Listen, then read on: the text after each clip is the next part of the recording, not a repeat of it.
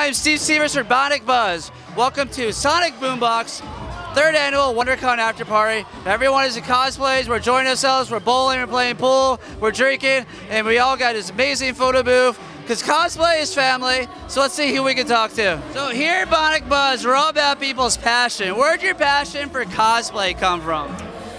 My passion for cosplay came through. Where could I really express this? I think it was just the simple fact that people are able to relate to Marvel or Yeah. DC and you can just really be yourself and in character and I think that that is in it that right there is what just brought out the cosplayer So, in me. so what are you? Uh, you want me to do a Deadpool or anybody else? Just I've only done Deadpool so far. Today Oh, I I'm did sorry, Lady Deadpool. Lady Deadpool. We shall we shall say Lady Deadpool. Um, but today during uh, WonderCon, I, I dressed as a Jessica Jones Deadpool mashup, Lady Deadpool mashup. Oh, mashup. I love that. So I was walking around with the Jim Beam. Um, I had like the leather jacket with the denim and the boots, and it was really cool. But I figured tonight I'm all Deadpool.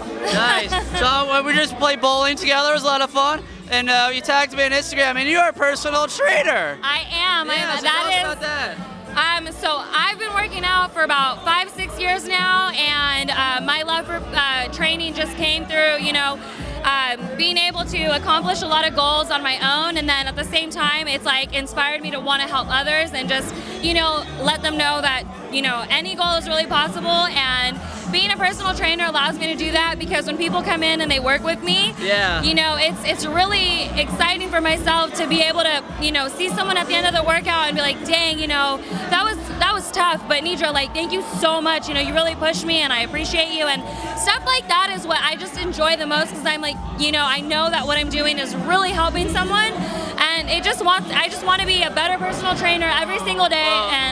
Yeah, there- there's no career better personal trainer than Lady Deadpool. So, uh, where do you, what area do you work out with people? Where if someone wanted to get a personal trainer, like what areas? I am located in Riverside. Okay. I am actually at a martial arts gym right now. It's called Nice. USKO. We are in uh, Riverside between Arlington and Central off of Brockton. Is there a website for that? There is. It's USKOtraining.com Okay, before I let you go, where can people follow you on social media?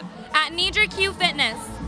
Or your personal one for Instagram, or? That is my personal Instagram Okay, fr- look it fitness website. I do online coaching along with one-on-one personal training. Awesome, thank you so much. All right, we're getting back to the party.